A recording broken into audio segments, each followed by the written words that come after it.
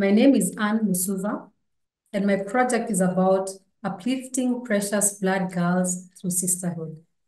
I'm very privileged to be one of the 2023 WomenLift cohort ladies. My purpose is to create equitable systems for all to thrive, and especially poor. I currently work at ThinkWell as a regional director, East and Southern Africa. My work focuses on supporting countries in their journey towards universal health coverage through designing and implementing health financing reforms to make healthcare affordable for everyone. I'm also drawn to efforts to improve the plight of young, vulnerable girls through supporting their education. I am married and I'm a mother to two feisty boys and a lovely girl. Allow me to give you a little bit of a context about my project. Makueni is one of the poor counties in Kenya, where 40% of the population lives in poverty. And the picture on my right is a picture not very far from my home, my parents' home in Makueni. Many high school girls struggle to complete high school due to lack of school fees, which often leads to high teenage pregnancy rates. Precious Blood Kilungu, my alma mater, is situated in Makueni. We currently have many girls from poor families dropping out of school because they cannot afford tuition fees. My project, therefore, is about starting an alumni scholarship fund to support at least 40 needy girls and keep them in high school.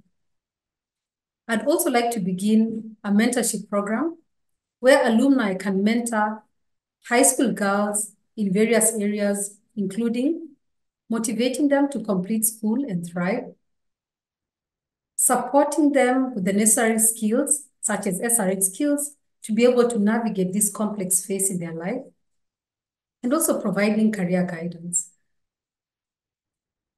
What have I done so far? I've engaged various alumni and my mentorship group as well within the WomenLift cohort to discuss the project and I've received valuable insights. I've developed a concept note for the scholarship and the mentorship program and shared this with the alumni committee.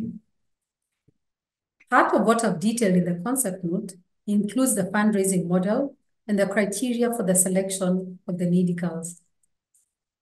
I joined the leadership committee of my high school alumni group to further this project and formed a scholarship subcommittee that I'm going to be leading.